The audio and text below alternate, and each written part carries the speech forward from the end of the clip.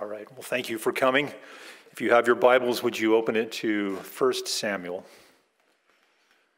We're going to be preaching through the uh, entirety of 1 Samuel today. It's my joy to do that. So um, let's get started. Uh, before we get into our study of 1 Samuel, it's important to look at why we have this book. Ask ourselves, why is this book here? And uh, one very compelling really reason relates to God and his faithfulness to Israel. Uh, while Israel had been unrelenting in their sin, they sinned at every turn with, with their God. Um, and they were largely unresponsive to God's kindness to them. God was faithful to his commitment, he was faithful to his covenant to them and to himself in his own name and his own character. So, one of the reasons why we have 1 Samuel is because God is showing his faithfulness to his covenant promise to bring the Messiah to Israel, even after Israel rejected him as their king by asking for a man to be their king. So, a lot of what we're going to be talking about tonight is God's faithfulness to his covenant commitment to Israel, despite Israel. There's good reason to believe that 1 Samuel was written sometime after the division of Israel into the northern and the southern kingdoms. Even though 2 Samuel ends with a description of the later years of David's rule, there are many references in both books to both the northern and the southern kingdom. And that would indicate a later date of writing, so perhaps it was written after um, the, the events that are being described. And scripture contains no clear statement of who the author of 1 Samuel is. Um, we know that his death is described towards the end of the, the book in chapter 25. Um, so it could be that another uh, prophet or another seer wrote that, perhaps Nathan or, or Gad or somebody like that. What we're going to do is we're going to look at a timeline, and a timeline is very helpful to help us understand where this book sits in history. Um, we just got done with the, the, prophets, and so we're going to start there. Um, Exodus uh, from Egypt occurred about 1400 BC, about 1400, give or take. 1440 uh, or so, and the conquest of the Promised Land began somewhere around 1400. And then uh, the, the, period of the judges lasted for approximately 350 years. And it was about 1050, 1052 or thereabouts that Saul became king. And Saul was king for 42 years, and when he died, David became king at about 1010 BC or so. And David ruled for another 10, uh, 40 years and until about 970 when he died. And then Solomon was king for 40 years until 930 BC. And that is when the kingdom was divided. So that's the time frame we're looking at here um, at the beginning of this, this time frame. So, but what we're going to do is we're going to look at uh, three things about Israel. We're going to look at Israel's neighbors. We're going to look at Israel's priests. And then we're going to look at Israel's people. And all of those are introductory so we understand the context in which this book sits. And uh, so Egypt, when we look at consider Israel's neighbors, Egypt was no longer the, the power that they once were a few hundred years earlier. They're mentioned only marginally in 1 Samuel. Uh, but the Philistines were gaining strength to the south and to the west. And uh, the nation of Ammon was a formidable, although more regional power. And Assyria and Babylon had not yet gained prominence, and they were farther to the east. Uh, so of these nations, the Philistines were definitely the, the most significant nation that posed a threat to them. Uh, God had promised Israel in Deuteronomy 28 that if they would obey him and they would keep his commands, he would protect their land and he would, he would protect their borders and they would live in peace. But they were unfaithful to that.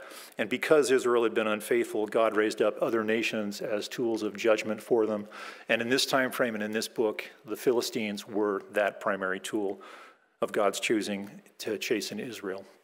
So that's a little bit about the neighbors of Israel, and uh, the main one to keep in mind is the Philistines as we consider this book. The other issue we want to look into are the priests themselves. And one of the biggest internal problems with Israel was their priests. They had an enormous problem with their priests. Scripture doesn't say much about Eli before 1 Samuel, but we do learn a lot about him from the early chapters in this book. And the area of greatest significance was his oversight over his sons. And that was weak and that was lacking. If you turn in your Bibles to chapter 4, and we're going to look at verse 12, we get a picture of the kind of, of parent that Eli was and the kind of sons that were in his household. Chapter 4, verse 12. Now the sons of Eli were worthless men. They did not know the Lord. Now, the story there is when a man was offering a sacrifice of boiled meat, the two sons would come and they would take for themselves a portion of the meat while it was still being boiled. And they would take that by force. And before the sacrifice was offered, the sons would take the sacrifice for themselves first, and they would do so without completely boiling the meat, as was prescribed by God's law in Leviticus. And they were blatantly abusing their role for their own benefit and their own profit. Uh, they were also very immoral men. There were women whose service was to hold the bronze laver. This is very important because the priests used the bronze laver to wash their hands uh, before they would go in and offer sacrifices on behalf of the people. And this was a significant role. And Eli's sons were so immoral that it was common knowledge that they were conducting sexual relationships with many of these women. And they were doing it in broad daylight. It was common knowledge. And all of this was happening under Eli's watch. And so Eli gives them a weak rebuke for this, but his sons wouldn't listen to his father. And all of this fit within God's providence as he already had plans to end their lives. But all of this really points back to Eli and how unfaithful he was with his own household. And this pattern of poor family stewardship did continue with Samuel. And we're going to get into Samuel in great detail here. He too was unfaithful in the raising of his sons, and we'll hear more about that later. But it's important to remember that even the priests themselves were suspect during this time. And then we're going to take a look at Israel's people. We can understand that well. We just got through with Judges, and the way the Judges ends is you read in the very last chapter, the very last verse, Judges 21 25. In those days, there was no king in Israel everyone did was, was right in his own eyes. So you had everybody determining for themselves what was right, and they were living that out. Israel was given everything they needed to live a fruitful life before the Lord. But they had been in the promised land for approximately 350 years, and that faithful generation which took the land and conquered it was long gone. And uh, they were living the way they chose to live. And we find a story in chapter 4 where Israel demonstrated just how indifferent they were to God's ways and God's design for them. At this time, the Lord's hand was very, very heavy upon them with the Philistines. And Israel was engaged in battle with the Philistines, and things weren't going very well for them, and the hand of the Lord was very heavy upon Israel. And the Ark of the Covenant was uh, in Shiloh at this time, and Israel was suffering great losses in the battle with the Philistines. And so the Israelites had a really good idea, what seemed to them like a good idea. And the elders proposed that the ark be taken from its place at Shiloh and be brought to the Israelite camp. So, what the elders proposed was that they would use the presence of the Lord that God had designed for them to meet with Him and designed for them to worship Him, and they would use that as some sort of aid and some sort of advantage militarily. But in His God sovereignty, God uh, granted the Philistines success in this battle, and 30,000 foot soldiers from Israel were slain that day. And the Philistines took the ark back to their own cities, and in the process of doing so, Eli's two sons were killed. So God brought an end to the two sons of the priest that way. But what it points to really is, is the Israelites and, and their low esteem for, for God's presence, low esteem for what God intended with his ark and what they wanted to use it for. Things had gotten so bad in Israel that, that God took the life of the priest and his sons. And so the, the situation here is a, a summary situation for Israel. You have the Philistines being the predominant military threat, and God used them very often in uh, chastening of Israel. And the function of the priesthood was weak and it was corrupt and it was ineffective. And then, thirdly, the people themselves were full of idolatry. Um, so things really were that bad. And so 1 Samuel is a narrative, so we're going to move left to right through 1 Samuel. And we're going to see in that the common thread being that God is faithful to his covenant to Israel, even when Israel is unfaithful to him. And there are several pieces to God's faithfulness, and one of them is the Davidic covenant. And we're going to look at that in more detail in two weeks when we get to 2 Samuel. But for today, just remember that God's covenant is the thing that he is faithful to, and he's going to provide much more detail on that in 2 Samuel in his covenant with David. So there are three characters that are in mind and that are very prominent when you look at the book of 1 Samuel. And those three characters are Samuel himself, and Saul, and David. And what we want to do is we want to look at how God used each of these three men as instruments to maintain his faithfulness to his own covenant with Israel. So we're going to look at how God used Samuel, we're going to look at how God used Saul, and how God used David. Uh, Samuel was an obedient prophet, so we're going to look at how God used obedience. Uh, Saul was a sinful king, so we're going to look at how God is able to still use a sinful king in his process. And we're going to take a look at David and see how God was able to use a faithful future king. So let's get started with how God demonstrates his faithfulness to his covenant with Israel through an obedient prophet. And so Samuel's life lasts through chapter 25. So the, the record of Samuel and all his doings and comings and goings is going to be contained in the first 25 chapters of the book. And so, what set Samuel apart from all of those who came before him was he was willing to do what was unpopular. He was willing to anoint David, and he was willing to stand up to the current king. So, we're going to look at a few areas in which Samuel's obedience to the Lord was the means by which God maintained his covenant faithfulness to Israel. And the first of these is that Samuel was not afraid to admonish the people. And we're going to see that in chapter 7. So if you have your Bibles, turn to chapter 7. We're going to look at verses 3 and 4 together. And there are many occasions on which he admonished Israel, but we're going to look at this one in particular. And idols were popular with Israel. They were very, very popular. Israel had idols when they were in Egypt, and they brought their idols out of Egypt with them. They moved into the promised land. They left most of them behind, but as soon as they got there, they got new ones. So idols were a problem with them. They kept their idols. And God told Moses in Deuteronomy chapter 1, uh, 31 that Israel would indeed arise and they would play the harlot with the foreign nations and they would engage with their idols. And they did. But because Samuel was obedient to God, he wasn't afraid to say the unpopular thing and admonish Israel to remove their idols from their midst. And he does that in chapter 7. And the context here is that the Lord had aroused the Philistines again. And they were his means of chastening Israel. And Israel had recently been defeated decisively by the Philistines.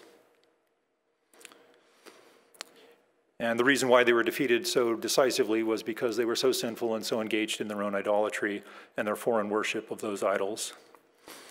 And Israel loved their idols, but Samuel knew that the ongoing worship of these idols would keep Israel from not only winning their battles, but more importantly, it would keep them from fulfilling God's design for them. And God's design for them is that they would be a light to the nations around them. That all the other nations, when they came to Israel, they would see a nation that functioned differently than, than all the other nations of the world. They would see that this nation doesn't have a king. And they would see that this nation functioned and succeeded and, and they were living peacefully without a king. And that was God's design for them. But Samuel knew that they were going to fail at this if they had idols and they worshiped and bowed down to someone other than the God of Israel.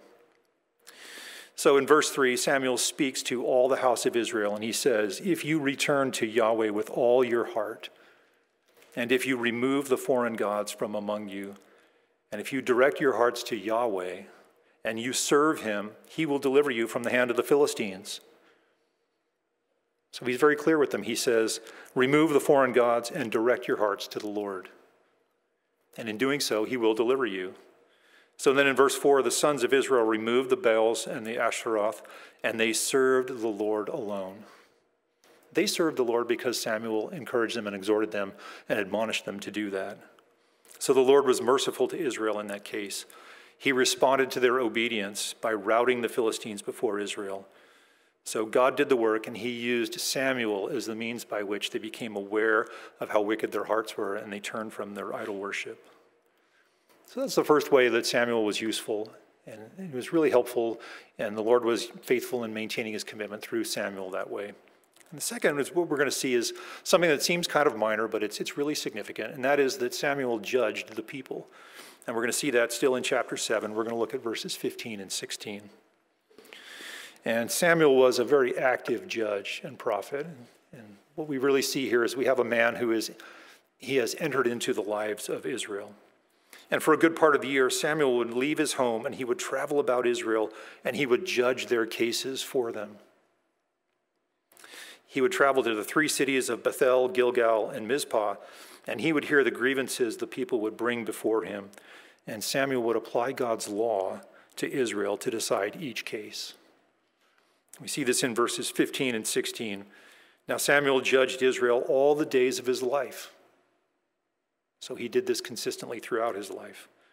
He used to go annually on the circuit to Bethel, Gilgal, Mizpah, and he judged Israel in all these places.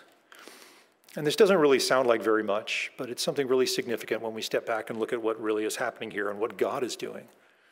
And the people are coming to Samuel with their cases that need to be judged. And what Samuel is doing is he's not judging them with his own wisdom, but he is bringing to bear on their particular cases God's wisdom and the truth of God's law.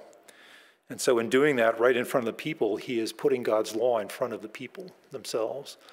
And So he's making them mindful and aware of God's wisdom and the rightness and the goodness and the strength and the power of God's word.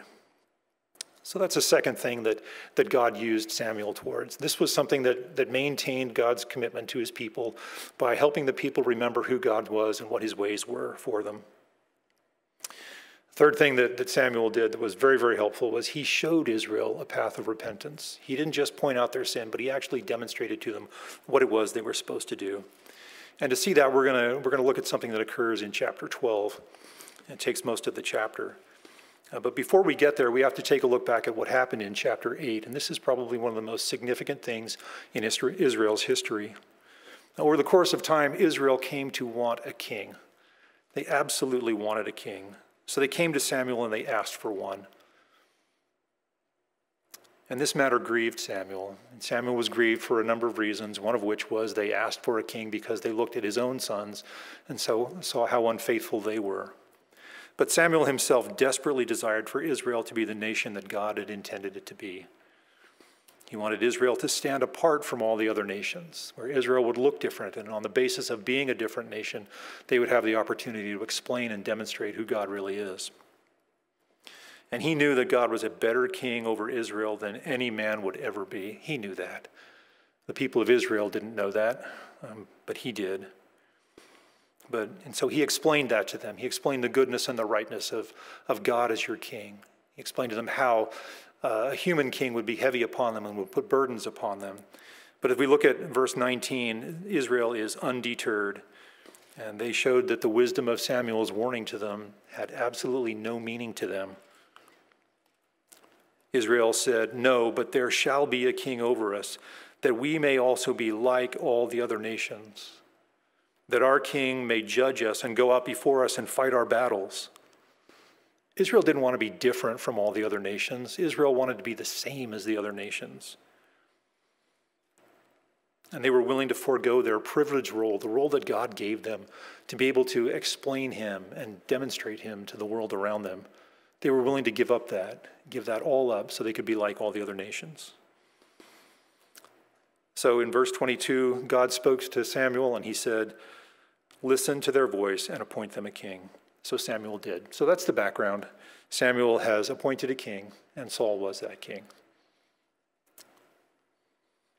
But the significance of that is that Israel wanted a king because they wanted to be like everybody else. So in, in chapter 12, we're going to move forward to chapter 12 here. And the situation is, again, that Israel is, is being chastened by the Lord. And we go to chapter 12, verse 17. And Samuel says to the people, Is it not the wheat harvest today? I will call to Yahweh that he may send thunder and rain. Then you will know and you will see that your wickedness is great, which you have done in the sight of the Lord, by asking for yourselves a king. So Samuel called to Yahweh, and Yahweh sent thunder and rain that day and all the people greatly feared the Lord and Samuel. And so, in this, the people were able to see the depth of their sin. And the reason why they were able to see it was because Samuel was willing to tell them. He didn't just tell them, listen, you really blew it by asking for a king. He actually showed them a path of repentance. And we see that in the following verses. You drop down to verse 20. From verse 20 to 22, you see how Samuel outlines for them how it is that they can repent from their sin and return to obedience to the Lord. So Samuel said to the people, Do not fear. You have committed all this evil. So he acknowledges their sin. Yet do not turn aside from following Yahweh, but serve Yahweh with all your heart. It's the same message. Don't turn aside, but serve him. You must not turn aside, for then you would go after futile things which cannot profit or deliver because they are futile. So he's speaking truth to them. For Yahweh will not abandon his people on account of his great name, because Yahweh has been pleased to make you a people for himself. So he's putting in front of Israel a path of repentance because Israel can't see, they're no longer able to see what they should see. They should see that what is important here is the greatness of God's name, and that all the nations around them know the greatness of God's name. So it's important that not only do they acknowledge their sin, but they repent from their sin and return to the Lord and serve him so that they can represent him rightly.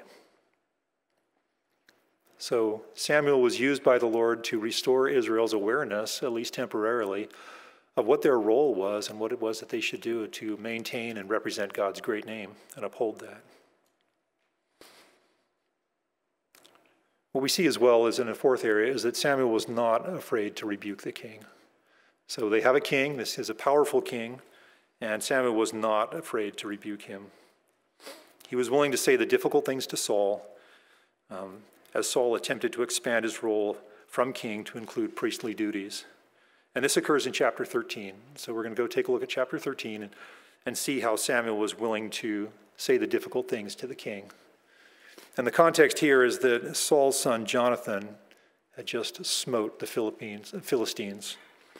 And Israel had become odious to the Philistines, but yet uh, they, they had uh, conquered the Philistines and had temporary victory over them. Samuel told Saul to wait seven days, after which point Samuel said he would arrive and they would offer a sacrifice together. And this was very important because there's a clear distinction and a delineation in Israel between the kingly role and the priestly role. They're always intended to be separate. We have a tribe for the king, we have a tribe for the priest. At this point, it was clear that they had to be separate roles. So Saul understood his role as king, but he wanted to take on for himself the role of priest. So Saul waited the prescribed number of days. He waited the minimum seven days that Samuel asked him to wait. But he came impatient in waiting for Samuel to arrive, and he was eager to gain the Lord's favor in his battle against the Philistines. So he offered the sacrifice anyway. He went right ahead and offered it, rather than waiting for Samuel. And what he did was he added to his own role of king the role of priest. He took Samuel's role from himself, and took it upon himself. And so, of course, Samuel arrives very shortly after Saul offers his sacrifice. And instead of fearing Saul and going along with whatever Saul did, Samuel was willing to be obedient to the Lord and admonish Saul for violating the Lord's design for the kind of man who was disqualified and qualified to offer the sacrifice. So Samuel was not afraid to identify Saul's foolishness, and we see that in verse 13. He says to Saul, You have acted foolishly you have not kept the commandment of the Lord your God, which he commanded you. But much more than that, Samuel was unafraid to tell the king that his rule would come to an end. That was brave and that was courageous of him to go to the king and tell him his rule was coming to an end. And back then, if a king didn't like the message, he got rid of the messenger. But that, that didn't deter Samuel, it didn't stop him. He went ahead and he told him the difficult things that he needed to in verse 14. But now your kingdom shall not endure. Yahweh has sought out for himself a man after his own heart, and Yahweh has appointed him as ruler over his people, because you have not kept what the Lord commanded you. So Samuel was a faithful instrument in his hands. He was very faithful. He rebuked Israel for their idol worship. He managed their daily affairs by judging them and revealing God's law to them and explaining to them how God's law was so good and so useful and so wise. He showed them a path of repentance and faithfulness when they sinned, and he informed their king that God was moving on from him to another king. And all of that was part of God's design for his, his promise to Israel and, and part of his faithfulness to his promise. So Samuel was a faithful instrument in God's hand, and God was using Samuel as a means by which he would remain faithful to his covenant with Israel. But what we want to see next is that God is able not only to use a faithful prophet and an obedient prophet, but he's able to use a sinful king. And so we're going to take a look at Saul and see how God is able to use a sinful king to maintain his covenant promise and be faithful to his covenant promise to Israel. And when we consider Saul, we need to remember that the beginning of Saul's reign started out really well.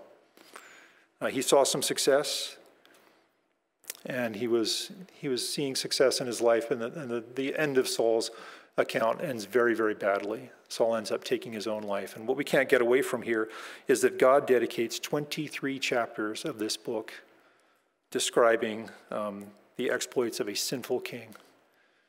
So the story goes on for 23 chapters, and then God uses in great detail uh, all of these pages of Scripture to show us a sinful king. And through all of that, God remains faithful despite the king's sinfulness.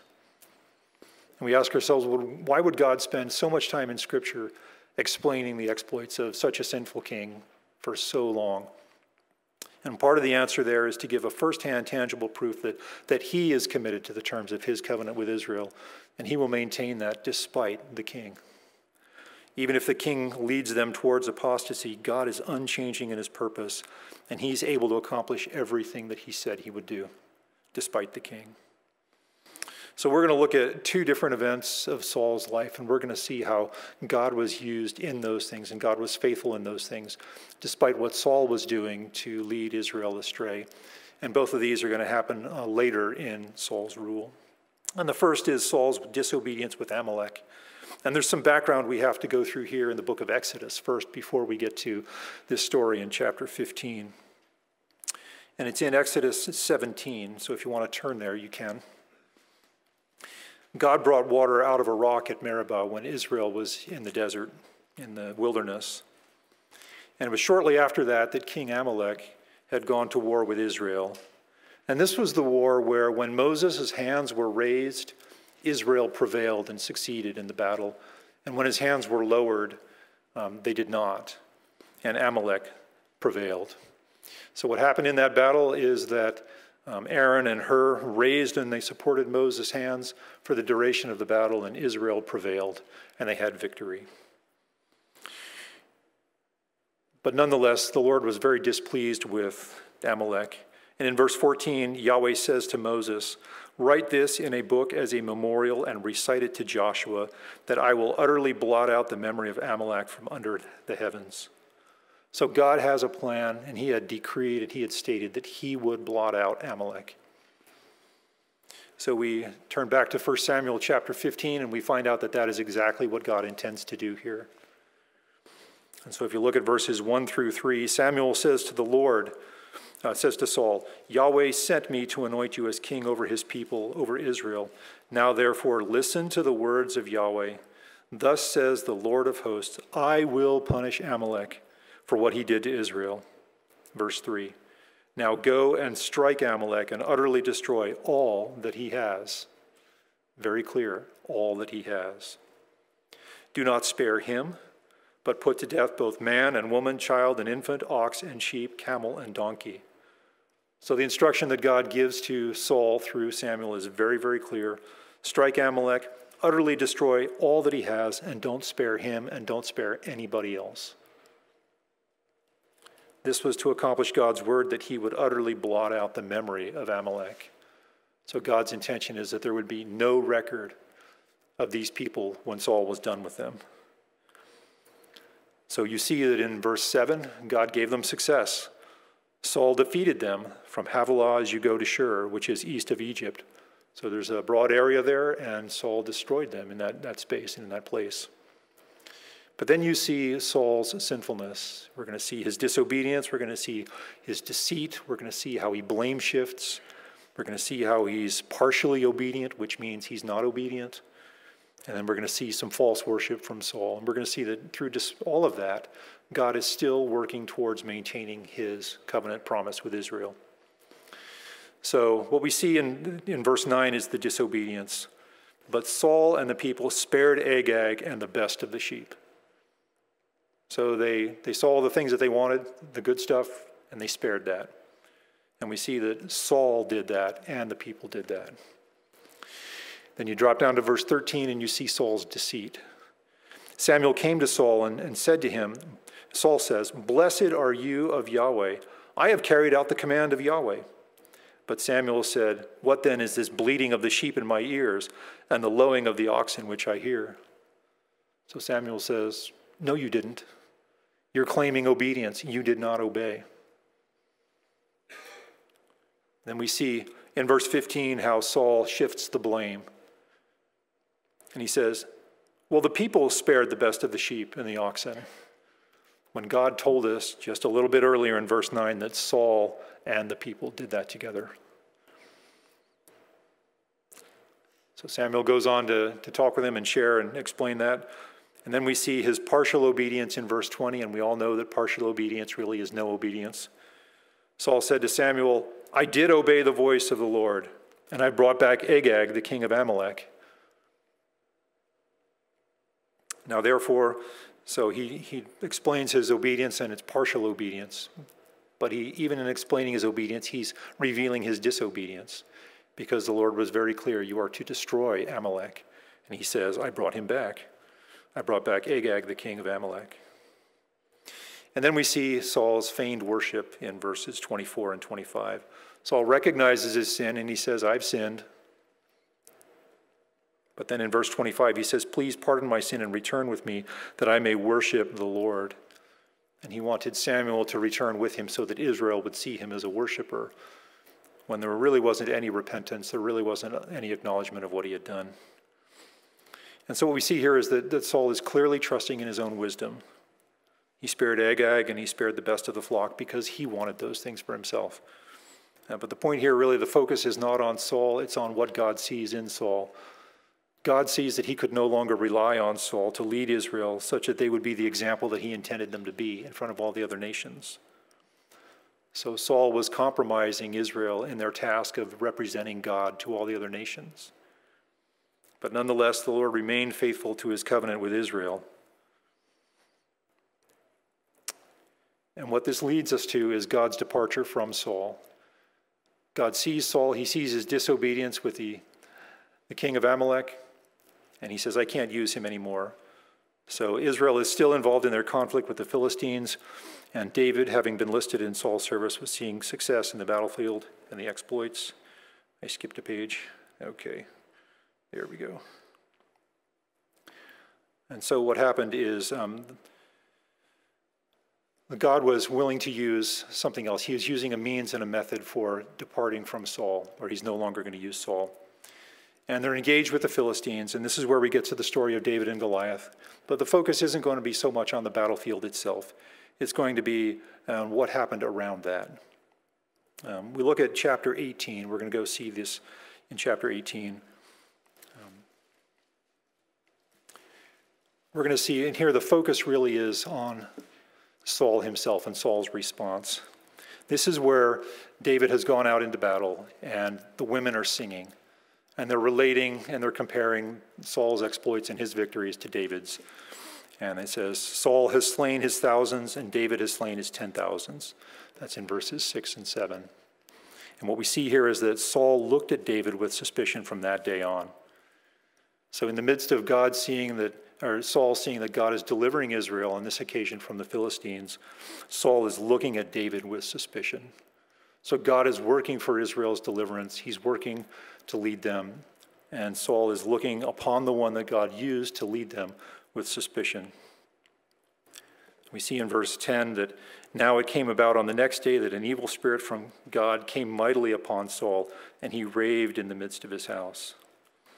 So, what Saul did was look upon David with suspicion, but what God did was he sovereignly caused an evil spirit to enter into Saul. And what this is not saying is that somewhere in the set of all of God's character attributes is this place where God works evil. We, we know that's not true because Psalm 119 says in verse 68 that you are good and you do good. What this is saying is that God, in his sovereign control over all things, he chose to exercise his control over one of those things. And specifically, that one thing was an evil spirit, and he dispatched that evil spirit to Saul. That evil spirit was separate from God, and God dispatched it to Saul. And it's a means by which God is going to maintain his faithfulness to his covenant. And this follows long, not long after Saul's disobedience with Amalek. So, right after Saul's disobedience with Amalek, God, in an effort to maintain and in, in the course of maintaining his faithfulness to his covenant, he moves on from Saul. God is saying that Saul is a king that will not serve the purposes of his covenant with Israel. And so he's going to begin the process of replacing him with another king. And he's going to do it by compromising Saul's spirit with an evil spirit. So we see there that, that Saul was able to, or that God was able to maintain his covenant promise with Israel despite what Saul did with Amalek. And in fact, he used that as a turning point to move on. And we didn't cover this. We're going to cover this in, in a bit when we get to David. But what we see here in the second way in which uh, God maintained his covenant promise with David, uh, with Israel, was that he, he did that despite the fact that Saul was pursuing David. And so God was maintaining this promise despite Saul's pursuit of the one that the Lord had anointed. Saul did what any self reliant king would do when he looked on David with suspicion from that day on. He tried to kill David. I'm going to list seven different examples here from the story of 1 Samuel of where Saul tried to take David's life. These are just seven that are listed here. There are more. But in chapter 18, verse 11, Saul attempted to pin David to the wall with his spear. In chapter 18, verse 25, he asked David for a dowry of a hundred Philistine foreskins to marry his his daughter Michal. He knew that David would probably be overwhelmed, and so that was his attempt to end David's life. That was his second one. In chapter 19, verse 10, again he attempted to pin David to the wall with his spear. In the very next verse, in verse 11, he sent messengers to David's house to watch him and put him to death. In chapter 23, verse 8, he besieged an entire city. And we'll talk about this a little later, where David was saying, in order to put David to death, he besieged a whole city. In chapter 24, he pursues David in the wilderness of En Gedi. And in chapter 26, he pursues David in the wilderness of Ziph. So here David is, he's the anointed. In this process, Saul comes to understand that David is going to be the next king. Then, but in spite of all of that, Saul pursues David to kill David.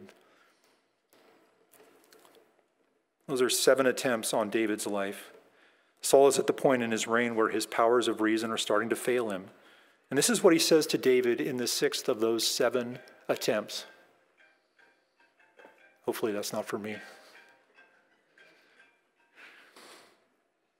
He says to Saul, uh, Saul says to David in, in chapter 24, verse 20, Now behold, I know that you surely will be king. The scene here is the one where Saul had gone into the cave to relieve himself, and David took a portion of his robe, and then later made Saul aware of the fact that he did take that portion of his robe. And Saul says, I know that you would surely be king, and that the kingdom of Israel will be established in your hand. So Saul acknowledges that after his sixth attempt to take David. But if you turn ahead just one more chapter and go to chapter 26, you see that Saul again is pursuing him. So while he knows that David is, is the next king, he's the one who's going to be king, he's still trying to take his life.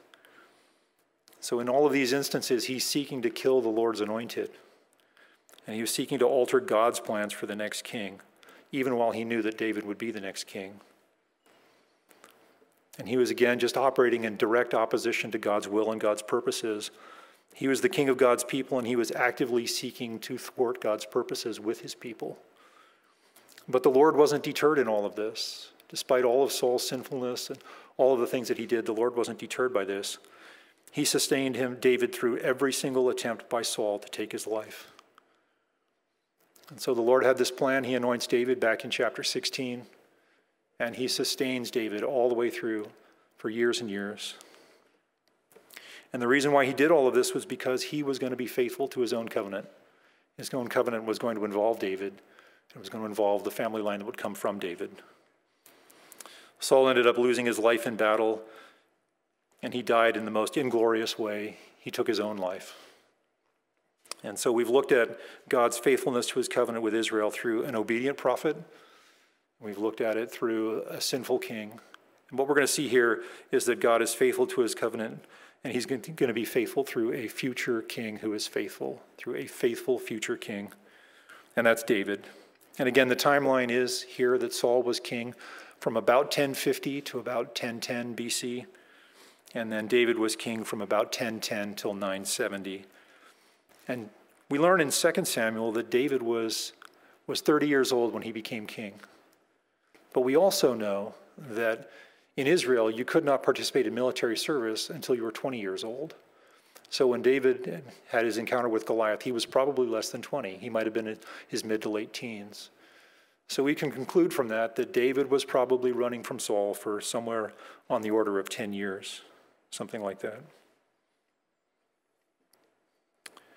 What we're going to see here are several different ways in which God actually demonstrates to through his operations with David that he was faithful to his covenant. And the first one is his selection of David.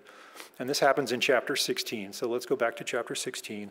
And this happens right on the heels of what Saul did with Amalek, where Saul refused to completely destroy them. As soon as that situation is over, God moves on to the next king, and he makes plans for the next king. So in verse 35 of chapter 15, you see the Lord regretted that he made Saul king over Israel. Very next verse, chapter 1, 16, verse 1, Yahweh said to Samuel, How long will you grieve over Saul, since I have rejected him? God has rejected him. I will send you to Jesse the Bethlehemite, for I have selected a king for myself from among his sons. So God had already selected a king for himself. He had already done this a king that would execute his purpose and a king that would be his. See that? I have selected a king for myself. David is going to be the Lord's, he's going to be the instrument in the Lord's hands. And this is the kind of man that, that he was looking for. And we know the story. Jesse had eight sons, and seven of, them, seven of them were present, the oldest seven. David was out yonder on the back 40 caring for the sheep. And they come in one by one. The Lord says to Samuel, who is looking at each one of these sons, Do not look at his appearance or at the height of his stature, because I have rejected him. For God sees not as a man sees, but for man looks at the outward appearance, but the Lord looks at the heart. Then we drop down to verse 12 where we see what we're, we're familiar with.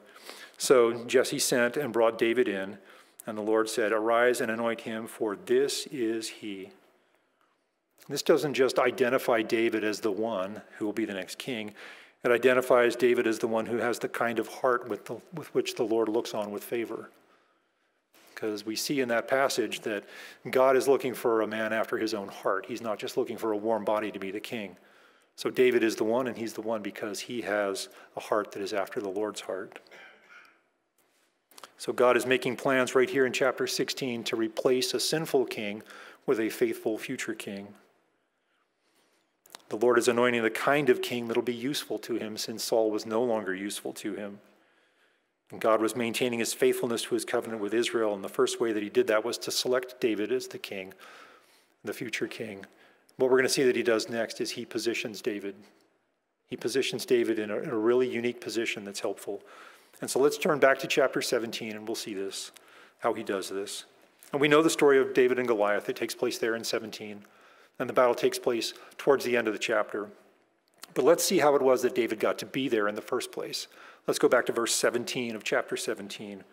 David is back with his father Jesse, and David has been anointed at this time.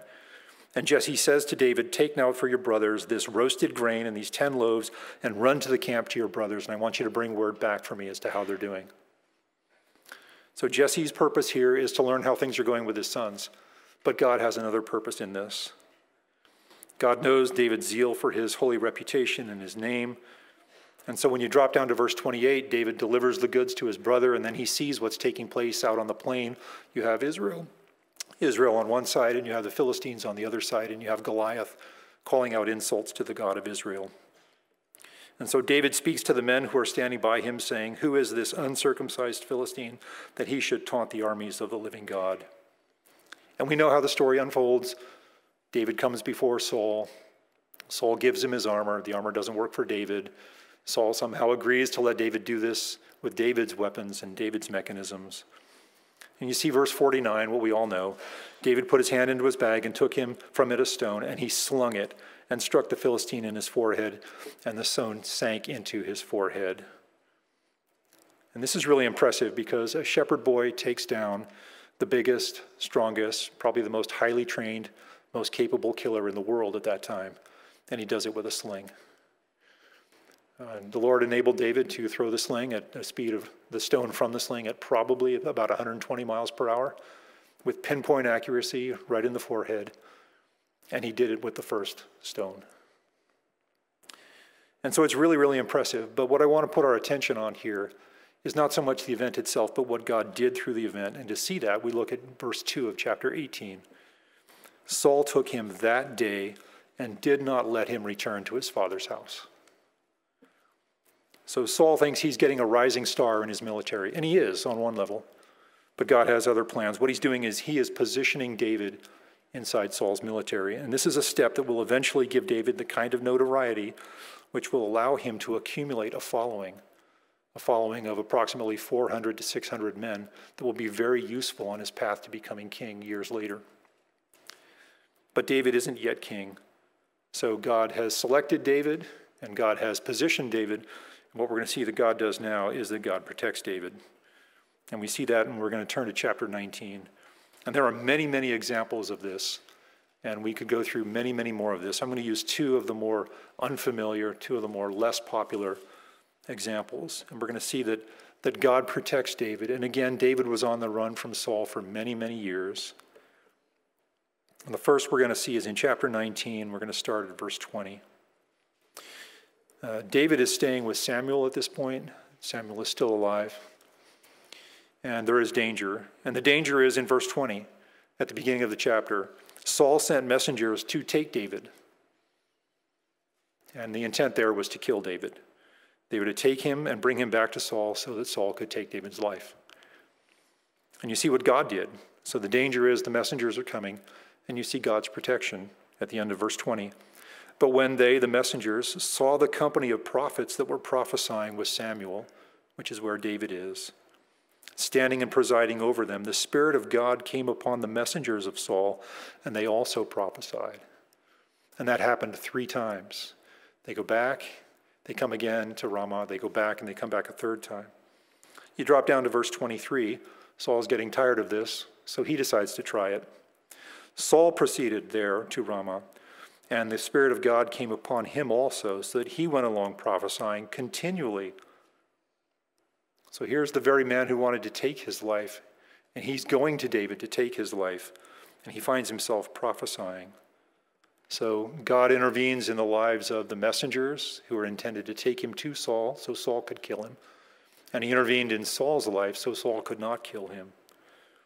And God's purpose in that is protect David because David was going to be a significant part of his covenant promise to Israel. And so David remains faithful in this. David doesn't run from the situation. David is faithful in the life that God gave him and that the Lord prepared for him. So that's the first way in which we see God protecting David. We're going to look at one other one, and that's in still in uh, it's in chapter 23. And David is in a, a city called Keilah. We mentioned this earlier at the beginning. And what Saul did was he summoned all of the people in verse 8 of chapter 23 to surround the city and build up siege works against it to starve out the city so that the people would give up David. So Saul summoned all the people for war to go down to Keilah to besiege David and his men. What Saul is doing here is he is trying to coerce the people of that city into giving up David so that, so that they could save up their own lives. And we're going to see how God intervenes with his protection here. So David says to the Lord, Will the men of Keilah surrender me and my men into the hand of Saul? And the Lord said, They will surrender you. The Lord knows exactly what they intend to do. Then David and his men, about 600, arose and departed, and they went wherever they could go. So, here what God is doing is He is showing David what is going to take place in the place that he had gone for refuge. And David remains faithful. He doesn't run again, he stays. He stays to what God is in the situation that God has put in front of him, and he is faithful to that. And what God is doing is He's preserving David again and again and again. So, those are the examples, and there are many, many more in which God preserves David's life. And the point of preserving David's life was so that he could continue to function in the role that God had intended for him to lead Israel in the way that God intended him to lead Israel, so that he could be faithful to his covenant promise to Israel. So, every one of these situations fits within that framework that God is protecting David God is placing David, he's identifying David, so that David could be the, the instrument that he intended him to be in maintaining his covenant promise. And all of this takes place in, a, in the first generation of Israel's kings. This is really significant because up to this point, Israel didn't have a king. And now they were stepping into a new territory for them, and they were being like all the other nations around them. But God was still able to, despite Israel's disobedience, despite Israel's will to be like everybody else and not be a nation that is separate, God is still able to be faithful to his own covenant. And we'll see the fruit of that next time, in two weeks from now, when we look at 2 Samuel. We'll see the fruit of what that looked like as David became king. So let's pray. Lord, I thank you that you are faithful to your promises. I thank you that you are true to your promises. Uh, Lord, it is a blessing to us that you established a throne for David and you established a kingly line, and it was from that line that your son came. Lord, thank you for your faithfulness through uh, all of the events that took place in this book. Lord, the events of priests who are unfaithful to you, the events of a king who is sinful, the events of a, a future king who is on the run. Lord, that you were not deterred in any of that, but you were faithful to maintain your own promise to your own people. And Lord, we see and we know the benefit of that because it was from those people that, that you brought your Son for us. And Lord, we recognize again that you gave your Son to us, and we rejoice in that. Thank you, Lord, that you are not constrained by us and our own abilities, but thank you, Lord, that you are constrained only by your plans and your purposes, which you will execute. Lord, we praise you and we worship you in Christ's name. Amen.